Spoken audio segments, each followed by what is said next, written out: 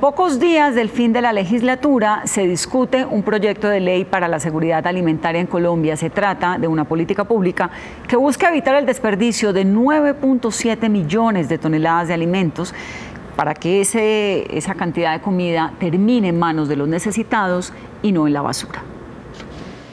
Son cuatro los eslabones desde los que actualmente se desprenden millones de toneladas de alimentos que se pierden en Colombia anualmente generando riesgos alimentarios en 54% de los hogares o en más de 500 mil niños que hoy sufren de desnutrición crónica.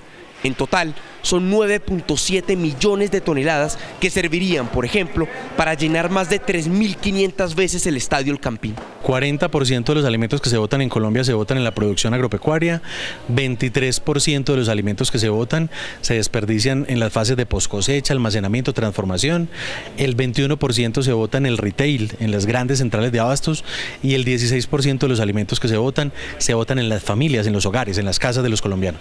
De ahí la necesidad del proyecto que avanzó a último debate en la Cámara de Representantes y que busca generar un mandato para que en los cuatro eslabones de la cadena se promueva la donación y no el desperdicio de los alimentos. Antes de votarlos y mientras sean aptos para el consumo humano, donenlo a organizaciones sin ánimo de lucro. Pero a dos días de que finalice la legislatura el proyecto no se ha discutido.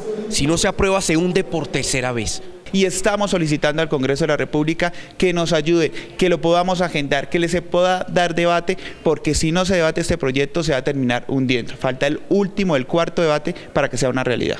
Según la red de bancos de alimentos, actualmente se rescata el 0.25% de los alimentos desperdiciados en Colombia. Estiman que de ser aprobado el proyecto puedan rescatar el 90%.